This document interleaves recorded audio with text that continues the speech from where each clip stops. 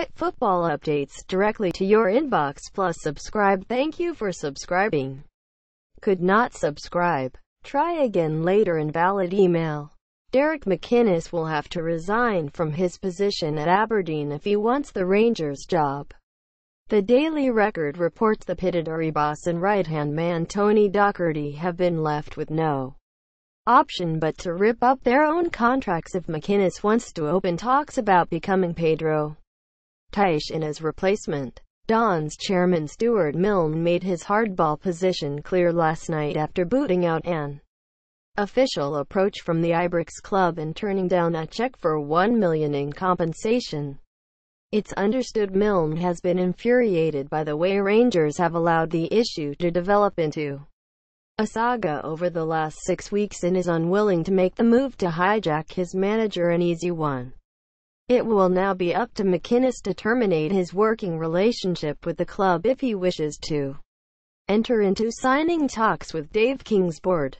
Such a move could lead to Aberdeen suing McInnes and Docherty for breach of contract although Ultimately Rangers would still be obliged to meet the final bill in full if they do land their no.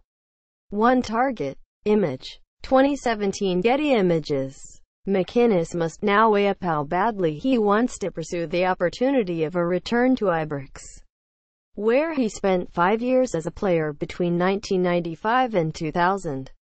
And the 46-year-old was last night sleeping on his next move but it's believed he is determined to listen to what Rangers have to say even if that results in a messy divorce from Aberdeen. After refusing Gers permission to sit McInnes down for talks just after 6 p.m. yesterday, Milne sanctioned a tersely worded statement that read, Aberdeen has announced this evening that Rangers have contacted the club asking for permission to speak to Derek McInnes and that permission has been refused.